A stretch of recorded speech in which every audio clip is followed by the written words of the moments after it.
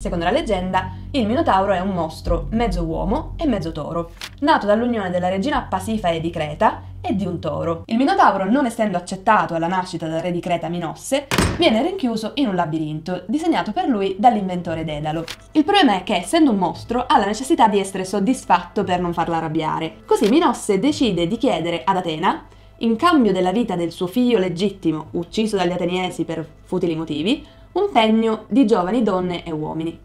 Così nasce la leggenda così come la conosciamo in arte, il simbolo del Minotauro come la bestia violenta che divora gli innocenti, però anche l'incarnazione della passione e dell'istinto contro la razionalità. Due sono le rappresentazioni più famose nella storia dell'arte di questo animale, le incisioni del 1961 di Gustave Doré della Divina Commedia e ancora più belle secondo me le rappresentazioni di Picasso che ha fatto di questo tema uno dei temi centrali delle sue opere, dei capolavori davvero.